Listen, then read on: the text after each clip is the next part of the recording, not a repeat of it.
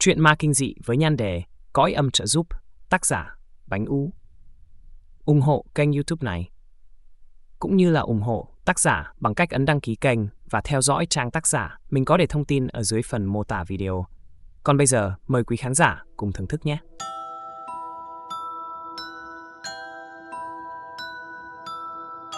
Hôm nay đám bạn của thằng Tuất rủ nhau xem hát ở ngoài chợ xã. Đã rất lâu rồi, cái gánh hát lô tô mới mò về cái thị xã nhỏ bé này. Mặc dù thị xã đơn sơ và toàn dân nghèo, nhưng tấm lòng người dân nơi đây thì khỏi phải bàn cãi. Mến khách và thương người là cái câu châm ngôn mà người dân nghèo nơi đây đã đặt ra. Đám nhỏ xin bố mẹ đi chơi chỉ tới 9 giờ là phải có mặt ở nhà. Nên đám thằng Tuất canh gần 9 giờ thì phải ra về. Mặc dù vẫn muốn chơi phóng phi tiêu hay ném lon, nhưng cũng đành gác lại để về.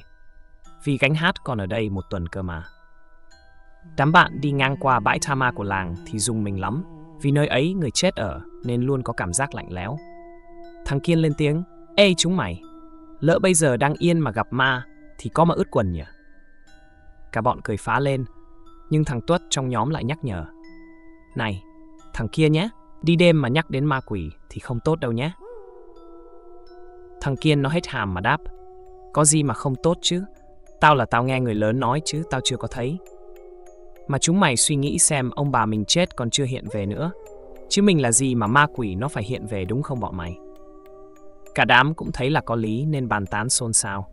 Chỉ có mình thằng Tuất là nhanh chóng rời đi. Nó muốn đi xa cái nghĩa địa u tối ấy. Thằng Tuất, mày chạy như ma đuổi thế. Tiếng gọi của thằng Kiên vừa dứt thì cả bọn cũng đều đuổi theo mà gọi réo tên thằng Tuất. Chúng nó trong đêm tối mà cứ oang oang như là học chợ, cứ thế mà réo gọi tên nhau. Cả bọn không đuổi theo thằng Tuất nữa mà dừng lại bàn tán với nhau. Thằng Huy nói, Ê chúng mày, tao nghĩ là thằng Tuất nó nói cũng đúng. Chúng mày không nhớ là mẹ nó là thầy Pháp sao? Một thằng khác tên Nam lại nói lớn, Pháp gì mà Pháp? Mọi người bảo là mẹ nó chỉ đi lừa tiền thôi, chứ có ai chứng kiến mẹ nó theo thầy học đâu. Cả đám lại gật đầu mà tiếp tục đùa giỡn với nhau trên con đường đi ngang qua nghĩa địa. Đám ba đưa đi mà không hề hay biết là đằng sau những tán cây bằng lăng, tiếng gió đang thổi xào xạc, thì có một khuôn mặt lúc ẩn lúc hiện trên ngọn cây. Khuôn mặt ấy đang dõi về phía ba thằng đang co chân mà đuổi nhau. Khuôn mặt ấy đang nhếch mép mà dõi theo chúng nó từng ly, từng tí. Phần thằng Tuất, nó về đến nhà rồi thì mới thở phào nhẹ nhõm. Vì từ cái lúc mà nó đi qua cái nghĩa địa và thằng Kiên nhắc đến ma quỷ thì nó đã có cảm giác có ai đó ở phía sau bọn nó. Nhưng đó là điều cấm không được ngoái lại phía sau nên nó không làm. Tuất đóng cửa mà nhớ lại câu chuyện mẹ nó đã kể rằng, ngày ấy, khi mẹ nó còn con gái, có quen một thanh niên cách nhà không quá xa, nên mỗi khi hẹn hò thì có thể đi bộ về. Anh ấy sau khi sang nhà mẹ thằng Tuất chơi thì lại đi bộ về nhà. Hôm ấy anh ấy cảm giác như có ai đó đi phía sau lưng, mà quay lại nhìn thì chả thấy ai cả. Đường tối thui và chỉ có mình anh. Anh sợ là bọn cướp bóc hay đám trẻ nào gây chuyện nên nhanh chóng chạy về nhà. Gần về đến nhà rồi, nơi này đông người ở nên anh cũng thong thả mà đi từ từ. Anh bất chợt lại gặp cái cảm giác như có ai đó theo sau lưng mình vậy. Tò mò nên anh lại ngó theo thì hỡi ôi, anh thấy rõ ràng một đứa con nít đi chân trần và chỉ mặc mỗi cái quần đùi mà đứng sau lưng anh.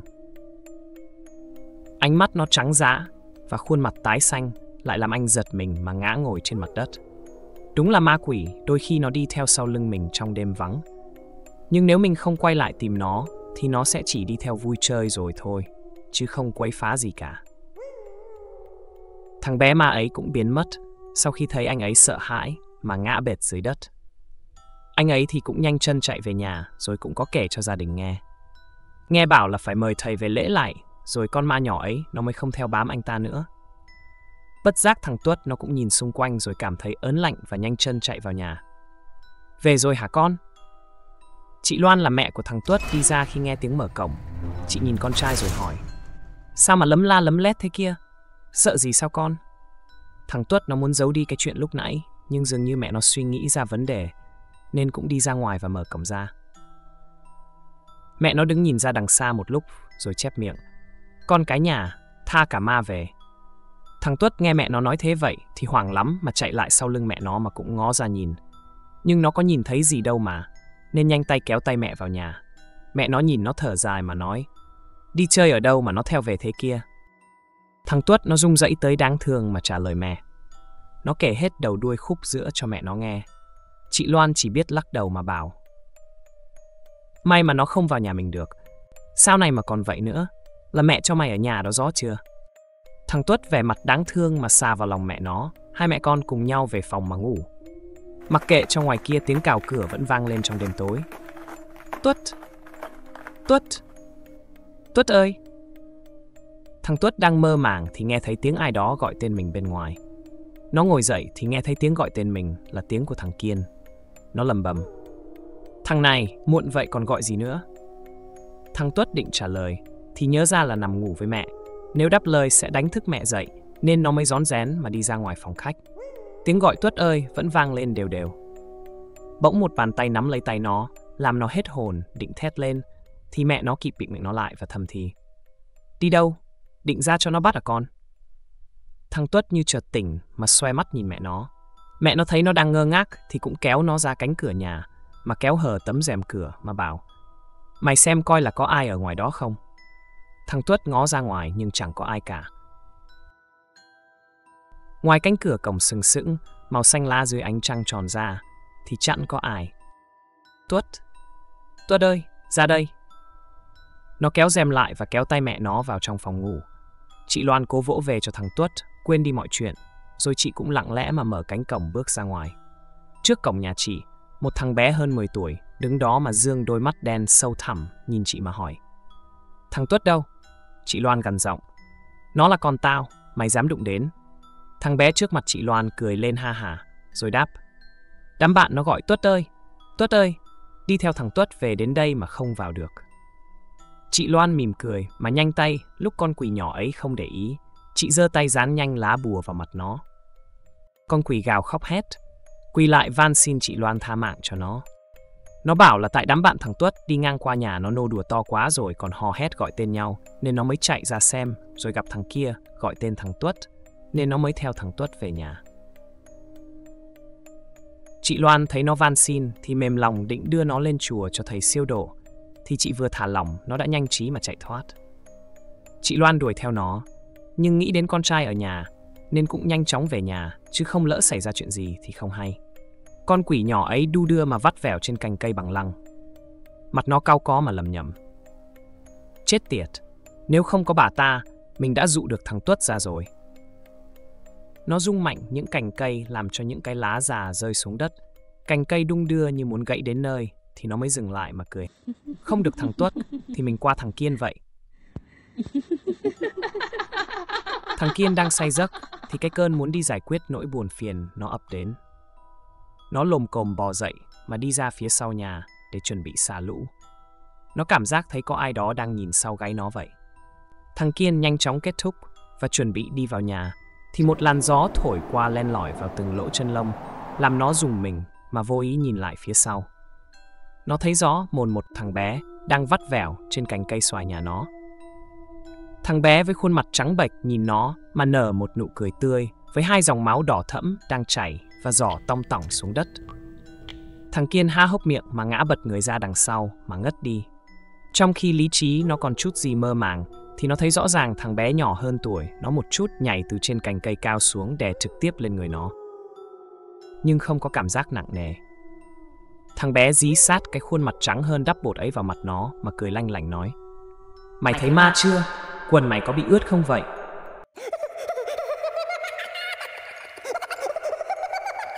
Thằng Kiên lúc này đã ngất đi thật sự và khi tỉnh dậy, nó thấy mình đang nằm trong bệnh viện. Đầu nó cảm thấy đau nhói và tay đang được truyền dịch. Nó thấy bố mẹ nó đang ở cạnh và hỏi han nó. Bố mẹ, sao con ở đây? Thằng Kiên sau khi tỉnh hơn một chút thì liền hỏi bố mẹ vì không biết nguyên nhân vì sao mình lại ở đây. Bố mày ra thì thấy mày nằm ngoài sau vườn, đầu đập vào thành giếng gần đó. May mà không ảnh hưởng đến đầu óc. Sao vậy con ơi là con? Thằng Kiên cố gắng mà kể lại mọi chuyện cho bố mẹ nó nghe. Bố mẹ nó nhìn nhau và cho rằng con trai bị ngã rồi có chút mê sảng nên mới nghĩ ra chuyện như thế. Đám bạn thằng Tuất, Nam và Huy cũng vào mà thăm thằng Kiên. Hỏi thì bố mẹ nó bảo thằng Kiên bị vấp ngã nhưng hỏi thằng Kiên thì nó kể lại làm cho đám bạn phải run sợ. Nghĩ là nó bịa chuyện.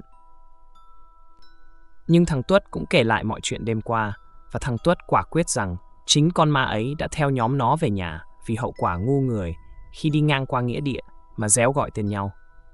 Tuất nó bảo rằng con ma ấy sẽ không đi theo nó nữa vì mẹ nó đã đuổi nó đi rồi. Và chắc có lẽ là đêm ấy nó đã sang mà tìm thằng Kiên.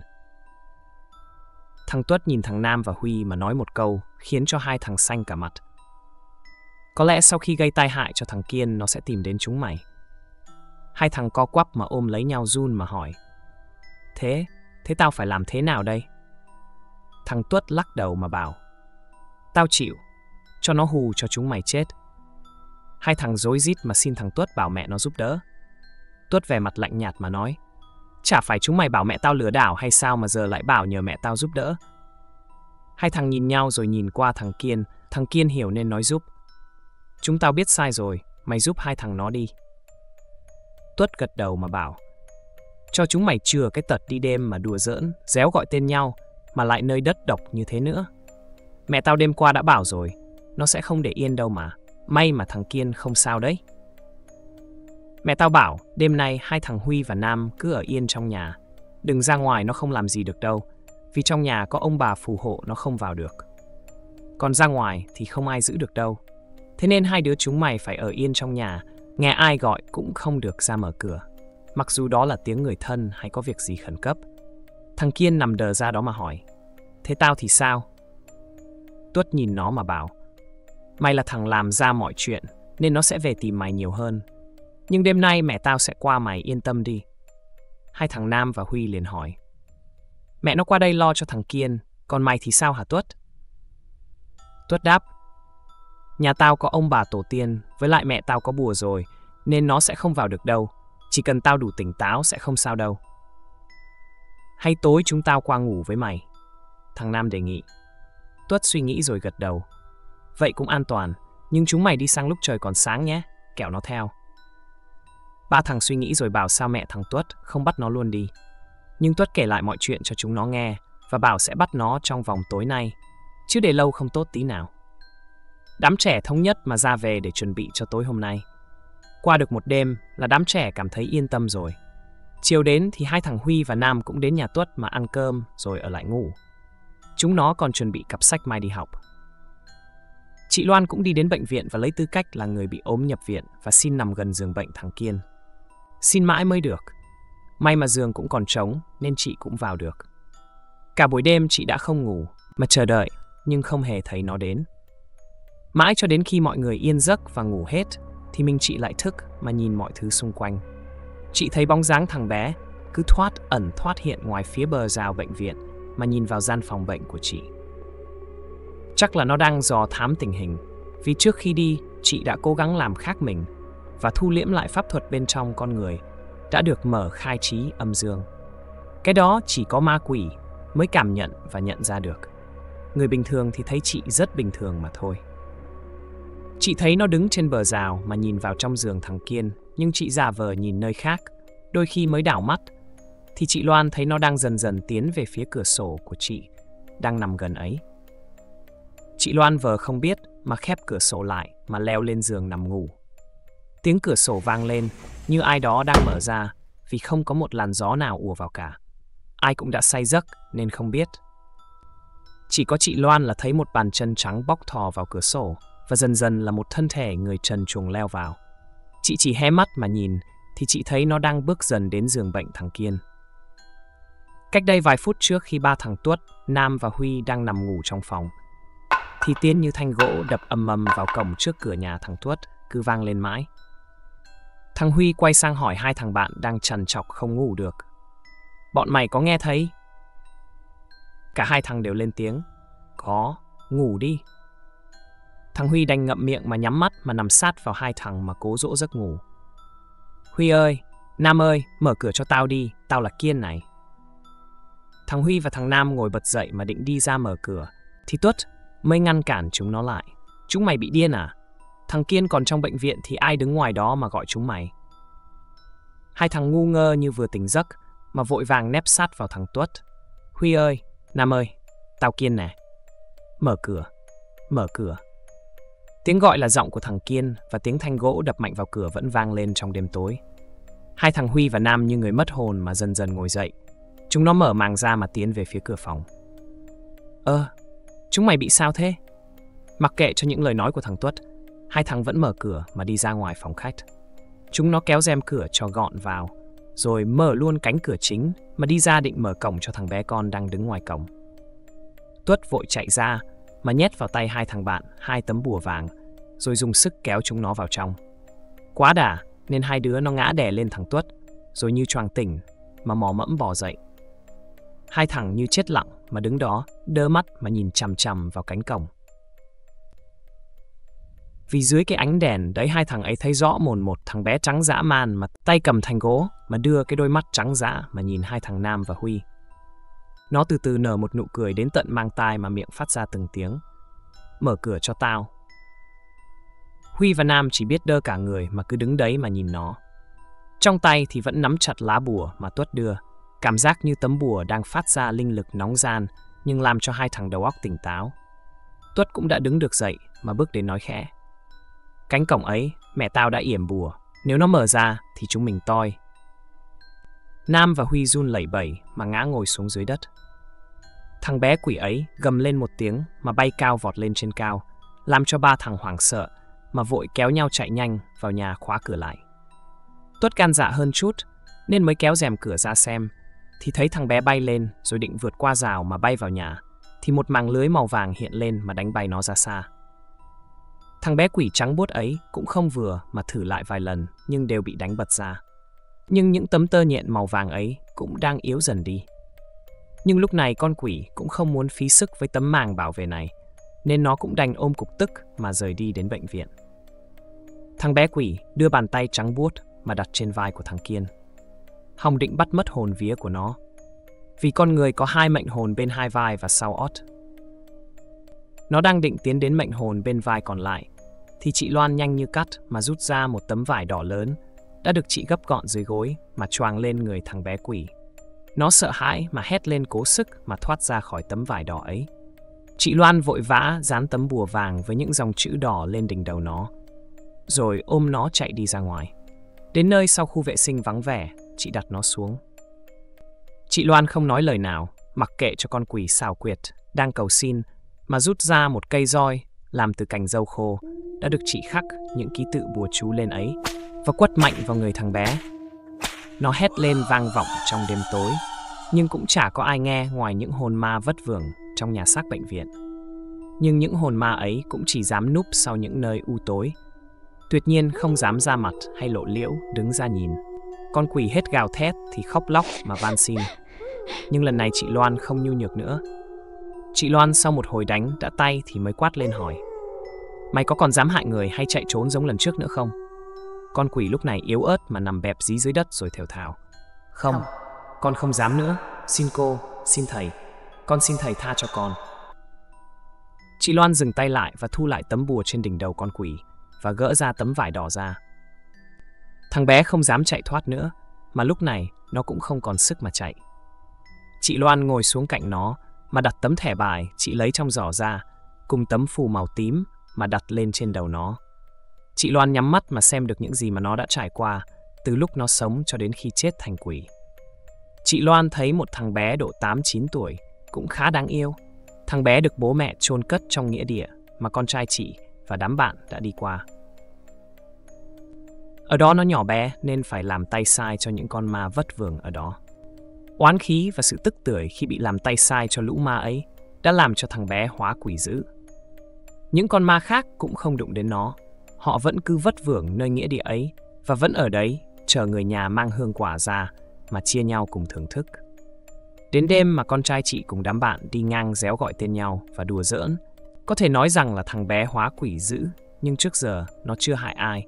Và khi thấy đám trẻ đi qua đùa giỡn, nó đi theo và có ý nghĩa sẽ bắt xuống chơi. Chị Loan thả tay ra và lấy ra một cái hũ nhỏ mà bảo Vào trong đây, ta sẽ gửi con lên chùa để siêu thoát cho con. Ta biết con đã phạm tội, nhưng chưa đến nỗi. Con thử nhìn xem bố mẹ nuôi con khôn lớn, nhưng có ai đó muốn bắt con đi, thì bố mẹ con sẽ sống thế nào? Nên con buông bỏ mọi thứ mà theo ta lên chùa. Nước mắt thằng bé lăn dài trên má và nó đồng ý chui vào cái lọ nhỏ ấy. Chị Loan thu dọn và trở lại phòng bệnh. Bác sĩ, bác sĩ, con trai tôi hôn mê rồi. Tiếng bố mẹ của thằng Kiên âm vang trong đêm vắng khi nhà nó phát hiện nó đã hôn mê. Bác sĩ trực đêm đến kiểm tra và chuyển nhanh thằng Kiên vào phòng cấp cứu. Bố mẹ nó ngoài phòng chờ mà mệt mỏi nhìn nhau buồn rười rượi. Quả thật là con trai người ta mới tỉnh và khỏe mạnh, tại sao bây giờ nó lại hôn mê như thế? Chị Loan bước đến mà ngồi gần bố mẹ nó và bảo Anh chị bình tĩnh, em sẽ giúp con trai anh chị tỉnh lại. Bố mẹ thằng Kiên nhìn chị Loan và rồi mẹ nó lại oà khóc. Bố nó kéo mẹ nó sát lại mà rõng rạc nhìn chị Loan. Chị đừng có mà linh tinh, con trai tôi không bị ma quỷ gì quấy phá cả. Chị đi đi. Chị Loan cố nắm lấy tay mẹ thằng Kiên mà bảo Chúng nó là bạn thân của nhau, chả lẽ em lại hại con anh chị sao? Nhưng bố thằng Kiên hất tay chị Loan ra mà kéo vợ đi chỗ khác. Chị Loan chỉ đành quay về nhà mà tự mở cửa vào trong nhà. Thằng Tuất thấy mẹ nó vào cổng được thì gọi hai thằng bạn dậy mà hỏi mọi chuyện. Chị Loan kể hết và bảo thằng Kiên sẽ không tỉnh lại nếu không thể đưa được một mệnh hồn về thân xác. Thế một mệnh hồn ấy giờ ở đâu hả mẹ? Thằng Tuất hỏi và đám bạn cũng tò mò. Chị Loan trả lời, mẹ đã giữ vì nếu một mệnh hồn đã thoát khỏi tay con quỷ mà lang thang bên ngoài sẽ dễ bị những con ma vất vưởng trong bệnh viện thu thập nên mẹ đã thu lại rồi. Thằng Huy ngồi lâu rồi lên tiếng. Vậy là phải làm cách nào đó để bố mẹ nó đồng ý cho cô Loan trả lại mệnh hồn cho nó. Mọi người gật đầu và sau đó cũng đi ngủ vì trời mới qua nửa đêm mà thôi. Anh ơi, chả lẽ con mình phải sống cuộc đời thực vật hay sao?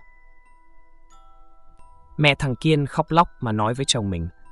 Bố nó cũng không biết nói gì mà ôm lấy mẹ nó khóc. Ông suy nghĩ không hiểu tại sao con mình sau khi ngã đập đầu đã được cứu tỉnh lại rồi mà lại hôn mê như thế. Bác sĩ kiểm tra cũng không có một dây thần kinh nào gặp vấn đề hay não bộ bị thế nào. Cô chú ơi, bạn Kiên chưa tỉnh lại sao? Thằng Nam hỏi và đám ba thằng bạn thân còn lại cũng bước đến. Bố thằng Kiên thật thà bảo lại mọi chuyện, khiến cho không khí nặng nề nghiêm trọng. Bác sĩ nữ bước ra và bảo, con trai anh chị sẽ sống đời sống thực vật. Anh chị có thể để cháu nó ở lại để theo dõi xem có cách nào chữa trị không. Bố mẹ thằng Kiên như chết lặng vì đây là kết quả cuối cùng mà bệnh viện thông báo. Mọi người bước vào phòng bệnh mà thấy thằng Kiên nằm yên ở đó, mắt nó nhắm nghiền lại mà như không còn sự sống. Nhưng khi đến gần thì thấy rõ nó vẫn thở đều nên mọi người cũng có cảm giác yên tâm phần nào. Tuất lấy hết cam đảm mà lên tiếng. Vậy sao cô chú không thử nhờ mẹ con xem thế nào? Bố thằng Kiên cũng không muốn nói nữa mà trực tiếp lườm lườm thằng Tuất. Thằng Tuất hiểu nhoeng nó vẫn cố nói. Nếu như bác sĩ đã nói như thế, thì tại sao hai cô chú không thử để mẹ con giúp? Có mất mát cái gì đâu. Bố thằng Kiên không nói gì mà lặng lặng bước đi. Mẹ thằng Kiên hiểu ý chồng nên mới đứng dậy nói. Được, con gọi mẹ đến đi, cô tin mẹ con. Thằng Tuất chỉ nghe vậy mà nhanh chóng về nhà để gọi mẹ đến. Chị Loan đang ngồi trong phòng riêng với cái ánh đèn đỏ mờ ảo. Một đứa bé nhỏ cứ bay quanh quẩn chị như là đang bảo vệ chị vậy. Thằng Tuất tìm khắp nơi không thấy mẹ nó nên biết và gõ cửa phòng riêng của chị. Chị Loan mở cửa và bước ra. Nghe con trai nói, chị cũng tiện tay lấy cái giỏ mà đi đến bệnh viện. Mẹ thằng Kiên nắm lấy tay chị Loan mà nói những lời van xin cứu giúp. Chị Loan đồng ý và bảo mấy đứa kéo rèm cửa lại. Sau đó mọi người vây quanh giường bệnh thằng Kiên. Chị Loan lấy ra tấm bùa mà chị mới vừa viết xong mà đặt dưới ót thằng Kiên. Chị đốt lên cây hương mà đưa xung quanh. Sau đó, lấy ra tấm bùa đã được xếp gọn gàng. Tấm bùa ấy là nơi cất giữ mệnh hồn của thằng Kiên. Chị áp tấm bùa vào một bên vai của nó và miệng lẩm bẩm, đọc chú ngữ không ai nghe được. Sau một thời gian, chị Loan nhấc tấm bùa lên. Tấm bùa đột ngột bốc cháy thành trò mà tản đi khắp nơi. Bố thằng Kiên cũng bí mật đứng bên ngoài mà theo dõi mọi chuyện. Thằng Kiên tay bắt đầu động đậy và ho lụ khụ lên vài tiếng. Nó mở mắt mà nhìn mẹ nó. Mẹ nó gào lên khóc thét và bố nó cũng bật cửa mà nhào chạy vào ôm lấy nó. Chị Loan cầm lấy ly nước gừng tươi, chị đã chuẩn bị mà đưa cho mẹ nó để nó uống. Thằng Kiên nhăn mặt, nhưng bố mẹ khéo ép nó uống hết. Tinh thần nó cũng đỡ mệt hơn và có thể mở miệng nói chuyện. Bố mẹ, con quỷ ấy đã bị bắt chưa? Ba thằng bạn liền tụm lại mà kể hết mọi chuyện cho nó nghe. Thằng Kiên cũng kể. Đêm ấy con đang ngủ thì mơ màng ai đó đụng vào vai con rồi người con cứng đơ ra. Sau đó con thấy nó đang đặt tay lên vai con mà cố lôi kéo thứ gì ra vậy. Con cố nhúc nhích nhưng không được và rồi con không còn biết gì. Bố mẹ nó gào khóc vì đã không tin tưởng nó. Chị Loan cũng lặng lẽ ra khỏi phòng mà nhanh chóng về nhà. Chị lặng lẽ một mình mà đi về nhà, gió thổi qua mái tóc dài của chị. Chị khẽ đưa tay vén tóc và rồi trước mặt chị một ánh mắt nhìn chị. Ánh mắt quen thuộc nhìn chị và hai người đứng đấy đơ ra mà nhìn nhau. Dạo này em vẫn khỏe chứ? Người đàn ông độ tuổi 40, vẻ mặt trầm ngâm mà hỏi chị Loan. Chị Loan cũng không kém phần đâm chiêu và trả lời. Em vẫn khỏe, cuộc sống anh như thế nào? Người đàn ông nhìn chị Loan với ánh mắt chiều mến. Ngày đó em không đồng ý nên bố mẹ anh đã chọn một cô vợ cho anh. Anh đã có đứa con gái sắp học xong cấp 3. Vợ anh cũng đã qua đời được chục năm. Hiện tại anh vẫn đi làm và nuôi con gái ăn học. Còn em? Chị Loan chỉ mỉm cười không nói gì. Hai người trầm lặng mà cứ ngồi đấy, ánh mắt đâm chiêu như nhớ lại thời xa xăm ấy. Ngay ấy chị Loan tròn 18 tuổi, chị có quen với một anh tên Thiện ở gần xóm chị. Nhưng đến một ngày chị Loan bảo muốn theo thầy học đạo và bố mẹ đã đồng ý. Nhưng anh Thiện không chịu, vì người thầy mà chị học chỉ đi ngang qua làng chị và giúp vài hộ gia đình. Sau đó, ông ta lại đi khắp nơi, nay chỗ này mai chỗ kia. Mà chị Loan lại là con gái, theo thầy học cũng phải mất vài năm. Chị Loan đã chủ động hai người tổ chức đám cưới ra mắt hai bên và ông bà tổ tiên. Sau đó, chị sẽ theo thầy học. Nhưng anh Thiện nhất quyết không chịu. Đến khi chị Loan đã xin được thầy cho theo học, thì cũng đến lúc thầy rời sang làng khác. Chị Loan cũng không thấy anh Thiện nói gì, nên cũng đi theo thầy, và từ ấy hai người tạm dừng gặp nhau từ ấy. Thời gian cứ thế đưa đi. Đến lúc chị Loan về, thì cũng hay tin anh Thiện đã chuyển đi nơi khác sống, và chị Loan lúc ấy cũng ấm theo một đứa nhỏ độ vài tháng mà trở về nhà. Bố mẹ ngăn cản chị không được nuôi đứa bé ấy, nhưng chị nhất quyết không chịu mà vẫn nuôi đứa con trai ấy. Mặc dù đó không phải là con trai chị. Anh Thiện có nhã ý đưa chị Loan về nhà, nhưng chị không đồng ý mà muốn tự mình đi về. Đôi khi chị dừng lại đôi chút vì chị biết anh Thiện đang theo chị. Chị Loan mở cửa mà đành mời anh Thiện vào. Anh có chuyện gì sao? Anh Thiện thở dài mà trả lời câu hỏi chị Loan. Hai bố con anh sống trên thành phố. Anh mới đưa nó về chơi với ông bà vài hôm vì nó được nghỉ hè. Nhưng lạ lắm em à, con bé nó cứ có biểu hiện sợ hãi mà tối ngủ giật mình lắm. Bà nội đã suy nghĩ đến vấn đề tâm linh và đi xem thầy. Thầy bảo nó bị vong theo, nhưng thầy không thể nào nhìn thấy vong vì nó che mắt thầy. Thầy chỉ đoán vì cảm nhận được thứ gì đó trên người con bé. Chị Loan nghe hiểu và bảo, Vậy ý của anh là muốn nhờ em giúp chứ gì? Anh Thiện chỉ dám nói nhỏ. Anh nghe mọi người nói em rất giỏi và có thể giúp anh. Chị Loan cười trừ mà đáp. Vậy tại sao ngày ấy khi em muốn học theo thầy, anh lại ngăn cản em? Anh có biết đâu phải ai muốn học là được, phải có căn, có số chứ. Anh Thiện không đáp mà cúi mặt xuống không nói gì. Chị Loan lên tiếng. Anh về mang con bé đến đây, em giúp cho. Anh Thiện mừng rỡ mà đồng ý, anh chào chị rồi bảo mai sẽ dẫn con bé đến. Sáng hôm sau, anh Thiện đưa con gái đến gặp chị Loan. Chị Loan đưa con bé vào phòng riêng của mình. Chị bảo con bé ngồi xuống mà cũng ngồi đối diện với con bé. Chị Loan mở chiếc hộp gỗ ra mà bắt đầu nhắm mắt mà trong đầu hiện lên một hình ảnh khác lạ. Trên đầu của con gái anh Thiện có một đứa bé nhỏ cũng đang lượn lờ, bay xung quanh đầu cô bé như đang thăm dò điều gì đó. Một lát sau, chị Loan đưa con bé ra ngoài và lấy bánh trái mời hai bố con anh Thiện ăn. Chị Loan hỏi đứa bé, có phải con đã làm rớt đồ cá nhân xuống dưới nước phải không? Cô bé ngạc nhiên mà đáp, sao cô biết? Hôm ấy bố đưa cháu qua sông để tham quan. Cháu có lỡ đánh rơi cái kẹp tóc xuống dưới sông. Nước sông rất cao nên cháu không thể bảo bố lấy được, vì đó là cái kẹp tóc cháu rất thích. Chị Loan gật đầu mà bảo với anh Thiện. Người xưa đã rất kiêng kỵ việc vứt bỏ hoặc làm rớt đồ vật cá nhân xuống ao, hồ hay sông suối. Đã lỡ làm rớt thì phải lấy cho bằng được, vì dưới sông không thể biết được những cái vong vất vưởng ở đó. Họ nhặt được thì sẽ đi theo mà gây chuyện. Anh Thiện ngơ ngác vì thật sự nước sông ấy rất cao, và lúc ấy anh và con gái cũng không còn thấy được cái kẹp tóc. Chị Loan lại nói, vong nó đã đi theo con bé, vong cũng rất mạnh, là vong nam, nhưng hiện tại em cũng không biết vong ấy theo con bé với ý định chính là gì nữa. Anh Thiện lo lắng. Thế phải làm thế nào hả em? Chị Loan nhìn ra xa mà nói khiến cho hai bố con anh Thiện cũng phải lạnh vai gáy. Nó đang đứng ngoài xa mà nhìn con bé. Cách tốt nhất chỉ đợi nó chủ động đến. Chứ nó là vong vất vưởng, không thể gọi nó lên mà đến được. Bằng cách nào có thể để nó tự đến? Anh Thiện hỏi và chị Loan bình tĩnh mà nói chuyện với hai bố con anh. Con gái anh Thiện là bé Trâm. Trâm chịu khó ở lại nhà chị Loan chơi với Tuất. Anh Thiện và chị Loan chờ đến khi trời sắp tối thì giả vờ mà đi ra ngoài. Núp trong bụi rậm, anh Thiện quay sang nhìn chị Loan. Vẫn ánh mắt ấy và khuôn mặt xinh đẹp ấy, chị Loan như không già đi tuổi nào cả. Chị Loan cũng cảm thấy anh Thiện đang nhìn mình nên nói sang chuyện khác. Lúc mình đi thì cái vong ấy vẫn đứng đó, mà chỉ có đợi bé Trâm ra mà nó đi theo thôi.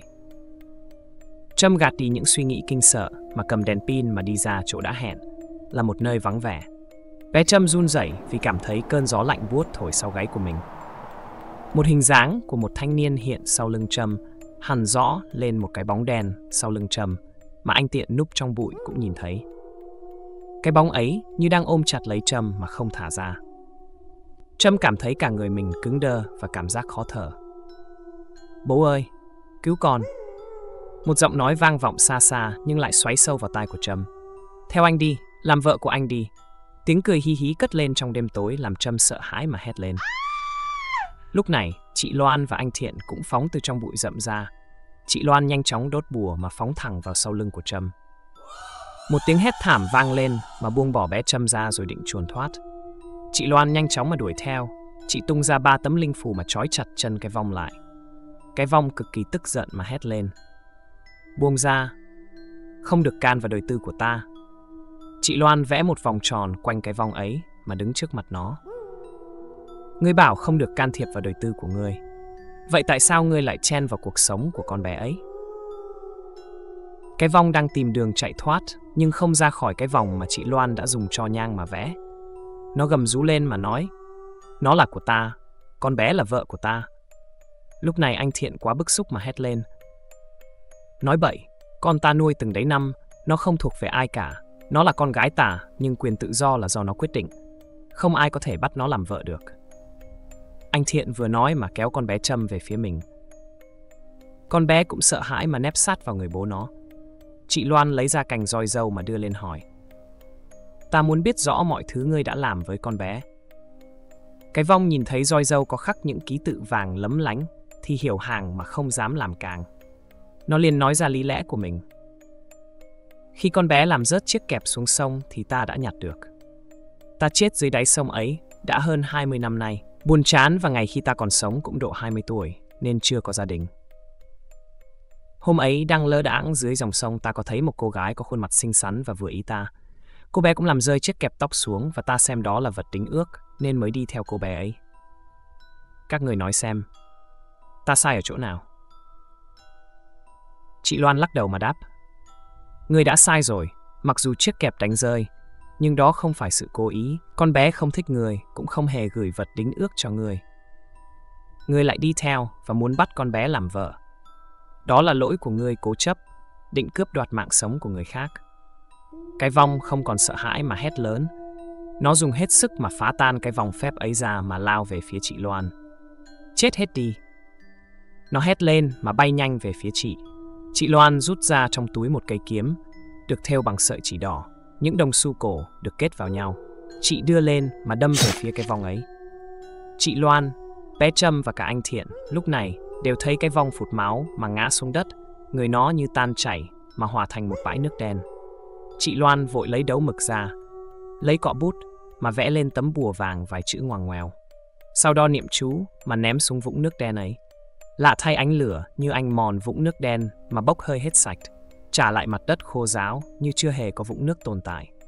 Chị quay lại nhìn hai bố con và bảo về thôi, chứ ở nơi tối tăm này cũng không tốt.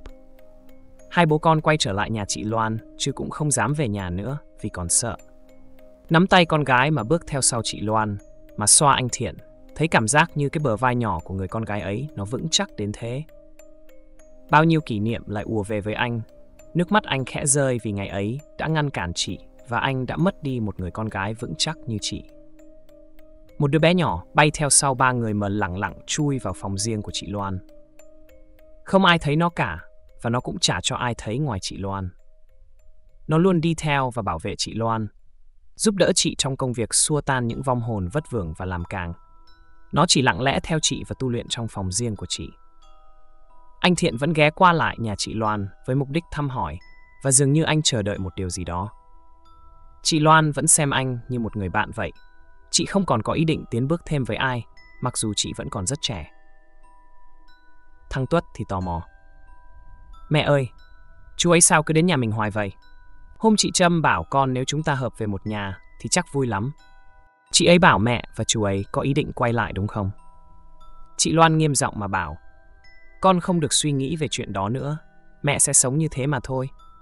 Con lo học thật tốt là mẹ cảm thấy vui rồi, không thể nào hợp lại được. Tuất gật đầu rồi sang chơi với chúng bạn. Thằng Kiên đã được xuất viện và về nhà, nên đám bạn thường kéo nhau qua đấy chơi. Ê Tuất, tao nghe thấy mẹ mày trừ ma rất giỏi phải không? Một thằng béo bước đến mà hỏi thằng Tuất. Tuất chỉ gật đầu chứ không nói gì. Thằng béo này tên là Min. Nó cũng học cùng lớp với Tuất và mấy thằng. Tuy nhiên, nó có tính hóng hắt và kiêu ngạo, nên không mấy ai chơi với nó ngoài thằng Tị. Thằng Tị thì lại gầy trơ cả xương sườn ra. Được cái hai thằng nhà khá giả nhất xóm, nên chỉ có cái tính kiêu ngạo mới chơi thân được với nhau. Thằng Tị cũng có mặt ở đó mà bảo, chúng tao bị ma ám rồi đấy. Ma ám? Đám thằng Tuất, Kiên, Huy và Nam đều ngạc nhiên. Thằng Huy hỏi, sao chúng mày biết chúng mày bị ma ám? Hai thằng kiêu ngạo mới đi lại mà kể lại mọi chuyện cho mấy đứa nghe. Thằng Min kể, hôm ấy tao cùng bố mẹ đi ăn ở ngoài chợ vì nhà tao hôm ấy thích đổi gió. Chúng mày biết đấy. Có tiền thì thích ăn gì cũng được mà. Cả bọ ngán ngẩm, nếu không phải vì chuyện tâm linh, thì chúng nó cũng không rảnh mà ngồi nghe mấy bọn nhà giàu khoe khoang.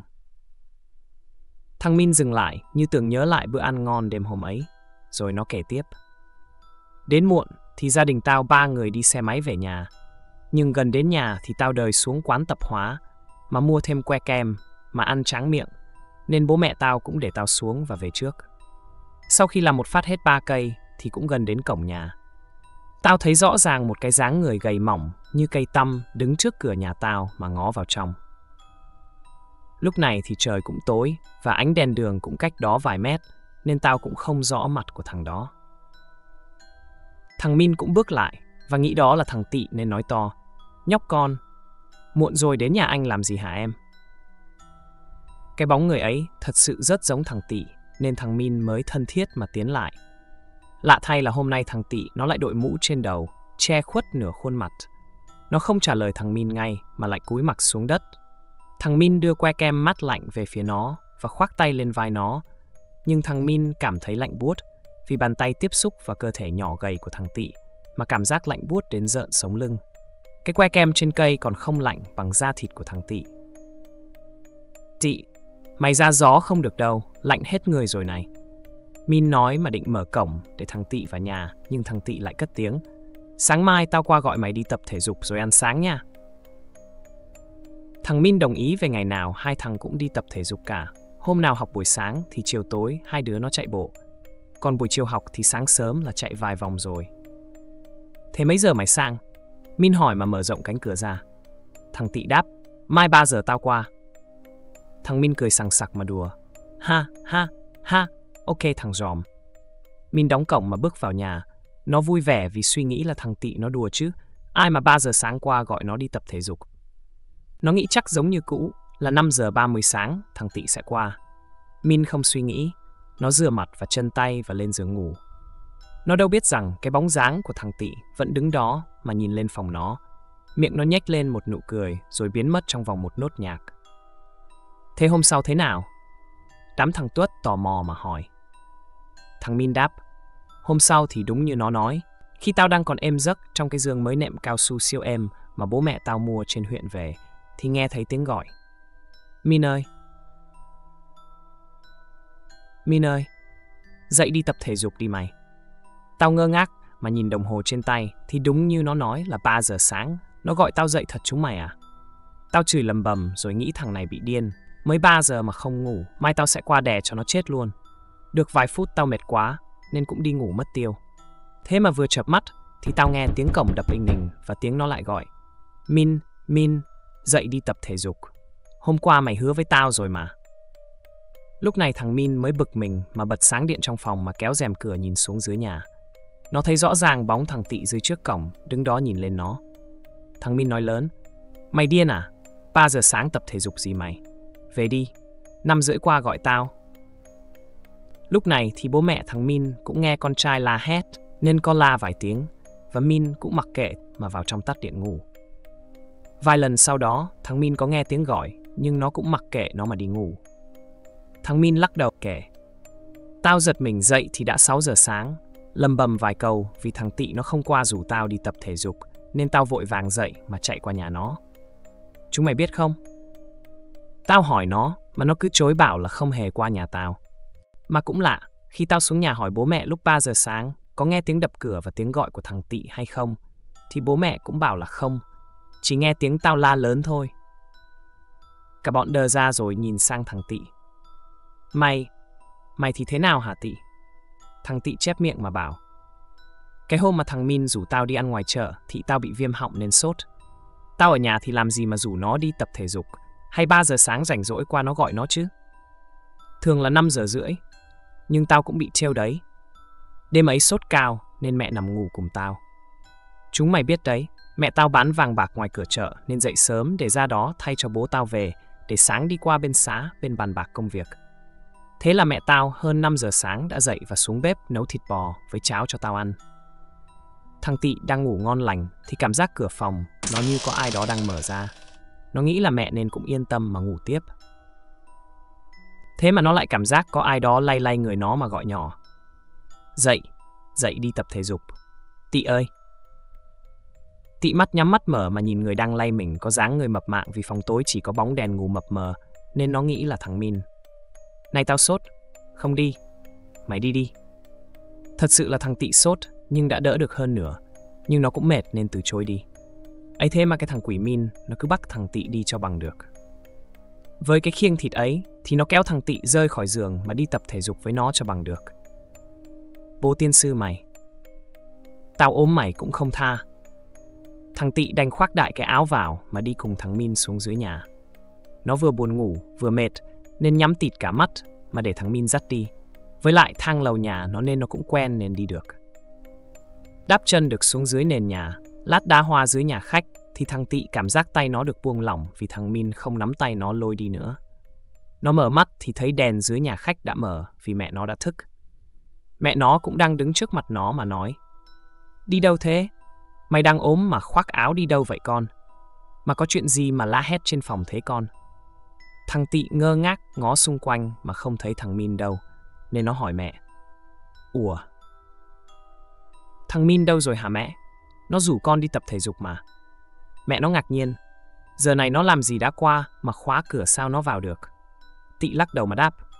Rõ ràng là nó kéo con xuống đây mà. Mẹ thằng Tị lại kéo con trai lên phòng ngủ và bảo Chắc con sốt nên mơ sản, chứ mẹ có thấy nó đâu mà. Thôi lên ngủ đi. Thằng Tị lên phòng ngủ mà lạnh hết cả người. Nó nghĩ lại mọi thứ và xác định nó là thật mà. Nó không ngủ được mà nằm đó cho đến khi thằng Min qua rủ nó tập thể dục. Cả đám sáu thằng nhìn nhau mà không nói lời nào cả. Thật sự là hai thằng đã bị mà treo và đều là chúng nó vẫn ý thức được chưa không phải là giấc mơ. Bố mẹ chúng nó cũng không thấy, chỉ có chúng nó thấy. Thằng Tị bảo, Tuất, mày bảo mẹ mày giúp hai đứa tao nhé. Thằng Tuất suy nghĩ một chút định đồng ý, thì thằng Kiên là cái thằng lãnh lợi nhất trong đám kéo thằng Tuất, và mấy đứa hai thằng Huy và Nam lại một góc mà thủ thí Ê chúng mày, hai cái thằng nhà giàu đấy, thường ngày nó có chơi với chúng mình đâu. Nay có chuyện chúng nó mới nhờ vả bọn mình. Tao có ý này, hay Tuất, mày thu một số tiền kha khá của bọn nó đi, coi như là tiền mẹ mày giúp nó. Thằng Tuất cũng không ưa gì cái bọn kiêu căng ấy, nhưng từ trước đến giờ mẹ nó giúp ai đều không lấy một xu nào cả. Nên nó nói ra ý nghĩ của nó. Mẹ tao chưa hề thu ai một đồng nào. Chả lẽ tao... Thằng Nam chen vào. Chỉ lần này thôi. Mày nói với Như Công của chúng mình thuyết phục cô Loan, rồi mình gom lại mà mua quà tặng cho cô Loan. Chứ mày nói sắp sinh nhật mẹ mày mà mày không có tiền tổ chức ấy. Bọn tao chỉ cần ăn ké bánh kẹo thôi, chứ không cần tiền. Do bọn tao ghét hai thằng đó quá. Tuất suy nghĩ một lúc rồi hỏi. Thế lấy giá sao đây? Thằng Kiên trả lời như đã tính toán trong đầu. 50 kha cái bánh kem, 50 kha mua quà, 50 kha mua bánh kẹo ăn. Vậy là 150 kha cảnh, ok chưa? Cả nhóm đều đồng thanh là ok, rồi quay lại phía hai thằng kia. Thằng Min cũng khá tinh vi mà nói trước. Chúng mày giúp hai đứa tao đi, coi như chúng ta sẽ bỏ tiền công ra trả cho chúng mày.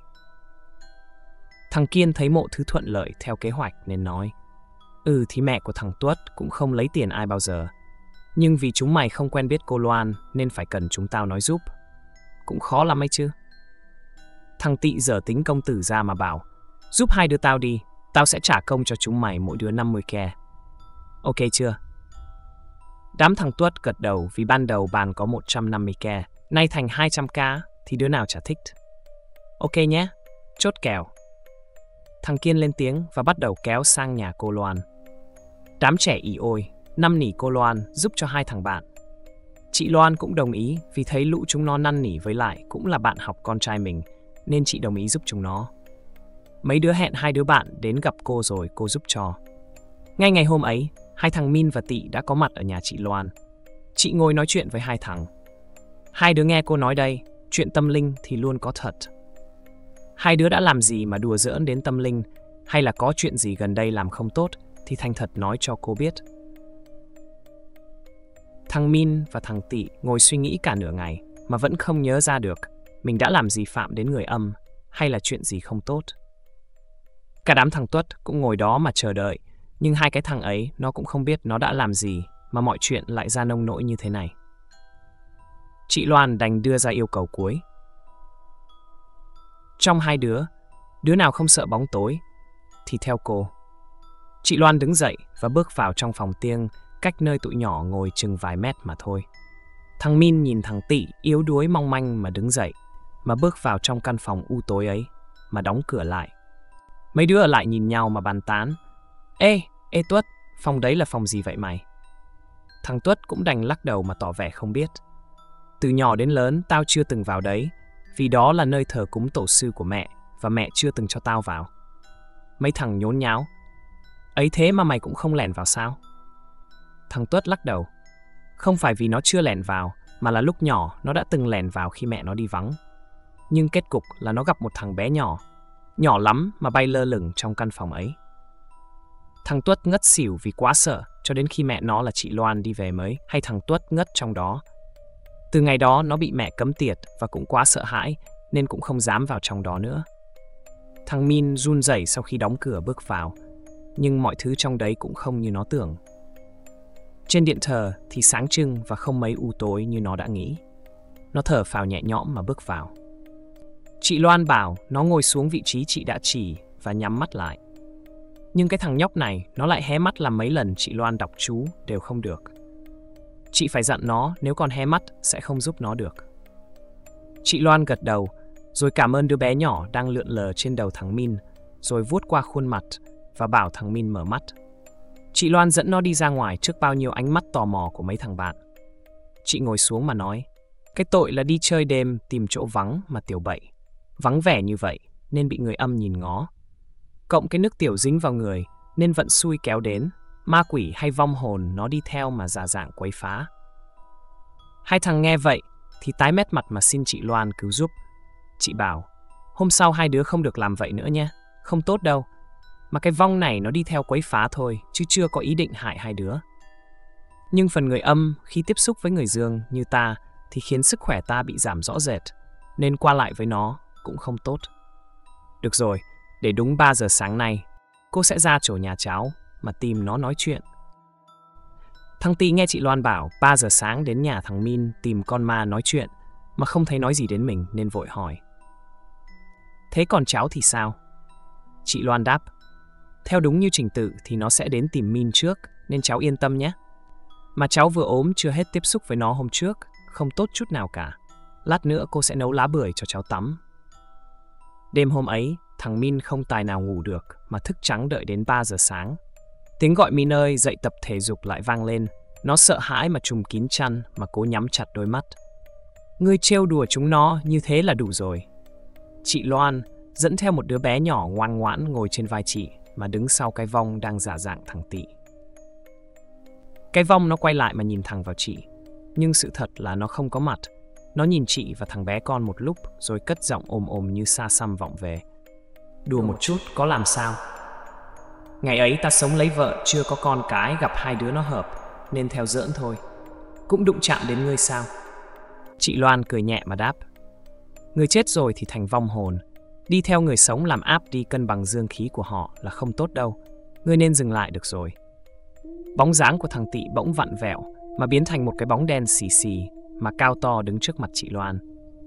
Nó vẫn không có mặt nhưng biểu lộ sự tức tối, dậm chân mà bảo. Lo chuyện bao đồng, để sức mà lo cho chính mình đi. Chị Loan không nói gì rồi nhìn nhìn đánh giá cái bóng đen trước mặt mình. Thằng bé ngồi trên vai chị thủ thỉ điều gì đó, rồi lại quay sang nhìn cái vong ấy. Chị Loan đưa ra ý kiến. Ngày ấy, ngươi chết do tai nạn, nát cả đầu nên giờ mặt mũi không có rồi, lại là vong vất vưởng, nên bây giờ không nơi mà về. Thôi theo ta lên chùa, ngày ngày nghe thầy giảng đạo mà ngộ ra, sớm đi đầu thai. Cái vong cười lên sằng sặc mà bảo, ta không cần, ở lại đây vui hơn, ta không cần đầu thai gì cả, không cần ai giúp hay can thiệp vào. Ngày ngày phiêu lãng, ăn cơm cúng là được rồi.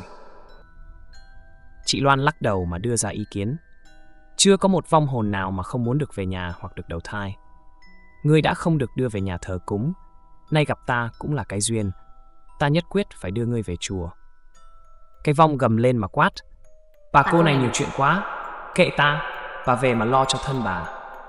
Chị Loan rút ra thanh kiếm, được kết bằng những đồng xu mà lấy tấm bùa vàng bọc lấy thanh kiếm mà vuốt nhẹ. Một dòng chữ vàng óng ánh xuất hiện trên thanh kiếm. Cái vong ấy mà nói đáng ra là cái hồn ma ấy cũng phải dè chừng mà lùi lại. Ta nói nhẹ nhàng, ngươi không nghe. Ta thu phục ngươi vì đã đụng chạm đến con người là điều tối kỵ ngươi đã cố ý mà làm. Chị Loan niệm chú dơ cao thanh kiếm lên, thì hồn ma ấy quỳ xuống, xin tha và ngoan ngoãn chui vào cái lọ nhỏ để chị thu vào, để mai đưa lên chùa. Chị Loan nhìn lên trên lầu, thấy thằng Min đã tò mò mà nhìn chị bắt cái hồn ma ấy nãy giờ. Vì con ma ấy cố tình để thằng Min thấy, nên thằng Min đã chứng kiến mọi thứ. Chị Loan quay trở về nhà, sau lưng chị là đứa bé nhỏ bay tung tăng phía sau như để bảo vệ chị vậy. Hôm nay đám thằng Tuất bí mật tổ chức sinh nhật cho chị Loan. Nó đợi mẹ nó đi công việc về và mở đèn làm chị bất ngờ. Có mặt ở đó là đám bạn và bố con nhà anh Thiện. Mẹ, mẹ thổi nến và ước đi mẹ. Chị Loan mỉm cười trong hạnh phúc mà thổi nến ước. Cô Loan ơi, cô ước gì thế? Thằng Kiên hỏi là mọi người cười ồ lên. Mày điên à? Ai mà kể điều ước đó ra? Thằng Huy và Nam mắng nó làm nó đỏ hết mặt mà xị mặt xuống. Chị Loan nhèo nhèo má nó mà nói. Cô ước cho tất cả mọi người được bình an, cô được thật nhiều sức khỏe mà ở bên thằng Tuất.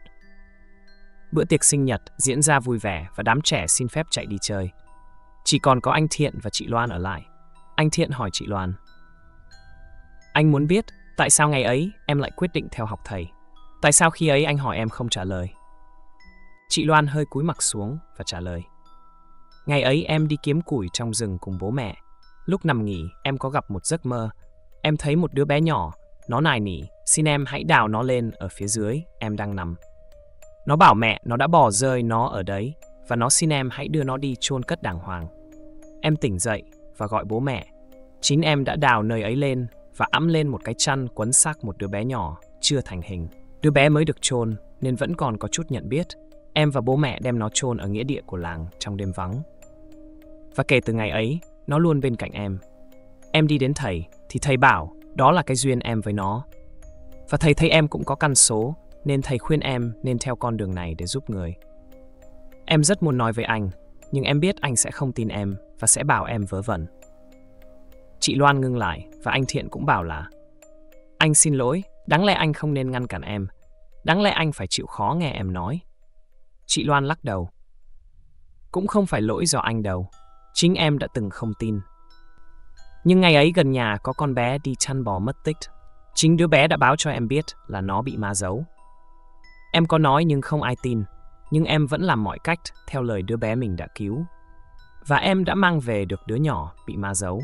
Em đã phải đụng chạm đến vong ma quỷ ấy, nên em biết nếu mình muốn giúp người tránh khỏi ma quỷ, thì phải mạnh mẽ đối phó với nó. Nên em theo học thầy và em xem đứa bé em đã nhặt như là con của mình. Có như vậy, chúng em mới gắn kết mà giúp đỡ nhau được. Anh Thiện gật đầu mà nước mắt anh tuôn rơi. Anh nhìn chị Loan đã sưng húp mắt mà cảm thấy ngày ấy mình thật ích kỷ. Thế thằng Tuất là con của em với. Thằng Tuất cùng đám bạn chơi trốn tìm nên trốn ở chỗ gần hai người nói chuyện. Nó run lên từng hồi khi nghe thấy hai người nhắc đến tên nó. Nó đã lớn và có sự nghi ngờ về thân phận nó. Tại sao mẹ chưa hề nhắc đến bố của nó? Đã có người đồn nó là con rơi, con rớt. Nhưng con rơi, con rớt nó cũng phải có bố. Tại sao mẹ nó không nhắc và khi nó hỏi mẹ nó luôn lảng tránh? Chị Loan nói rất nhỏ nhưng vẫn đủ để nó nghe thấy. Năm cuối em theo thầy học thì nhặt được thằng Tuất khi cả dòng họ nó dính một lời nguyền kinh khủng bắt nguồn từ cha ông nó. Ai cũng không được sống và sư phụ và em may mắn cứu thoát được nó. Đánh đổi với con yêu tinh ấy là sư phụ hy sinh và dặn em phải chăm sóc nuôi dưỡng thằng Tuất vì sau này nó chính là ngôi sao sáng của thầy. Sẽ nối tiếp em trên con đường trừ tà này. Ngày em ẵm nó về là ngày bố mẹ hoang mang cho rằng em chữa hoang, nhưng khi biết được sự thật thì bố mẹ cũng coi nó như cháu ruột vậy. Chị Loan vừa dứt lời thì thằng Tuất nó nấc lên từng tiếng mà chạy lại ôm lấy chị. Tuất, con nghe thấy hết rồi sao? Thằng Tuất nức nở. Mẹ không được bỏ con, cả cuộc đời này con chỉ có mỗi mình mẹ thôi. Chị Loan ôm chặt nó và anh Thiện cũng òa khóc mà ôm lấy hai mẹ con chị. Đêm đã muộn nên mọi người ra về, chị Loan nằm bên cạnh ôm lấy thằng Tuất mà thi thoảng vẫn nghe thấy tiếng nấc nghẹn của nó. Chị thở dài mà ôm lấy nó. Một đứa bé nhỏ không rõ là con trai hay gái cũng bay vào mà nằm bên cạnh chị. Nó thủ thỉ. Mẹ, em Tuất dám nhận tiền của thằng bé Min và tị mà tổ chức sinh nhật cho mẹ ấy. Con là con giấu kín không nói, chứ nói là em Tuất cũng bị đánh rồi. Chị Loan cười cười mà hỏi. Thế sao giờ con lại nói? Đứa bé gãi gãi đầu mà đáp. Vì con biết mẹ sẽ không đánh em Tuất đâu, phải không mẹ? Chị Loan thở dài. Con cũng biết giấu mẹ nữa hả? Mai mẹ sẽ bảo Tuất trả lại tiền cho họ. Mẹ rất vui vì con luôn ở bên mẹ. Mẹ cũng rất tự hào vì mẹ luôn luôn có một người cõi âm trợ giúp mẹ. Ba mẹ con không phân biệt quỷ hay người ma ôm nhau ngủ, nhưng chỉ đêm nay thôi, chứ thằng Tuất nó tiếp xúc với người âm không tốt. Trên chuyến xe trở về thành phố, anh Thiện cùng bé Trâm ngồi trên ấy mà về nhà. Anh đâm chiêu nhìn ra ngoài cửa kính mà suy nghĩ câu nói của chị Loan. Kiếp này em chỉ có yêu mình anh, nhưng em không muốn bước về bên anh. Hiện tại em bên các con rất ổn. Hẹn anh kiếp sau vậy. Tập truyện ngày hôm nay đến đây là hết. Còn chần chờ gì nữa? Hãy ấn like và đăng ký kênh YouTube này để đón xem video mới nhất từ kênh nhé. Và đừng quên ủng hộ tác giả, ấn theo dõi trang tác giả. Mình có để trong phần thông tin mô tả video. Xin chào và hẹn gặp lại ở video tiếp theo.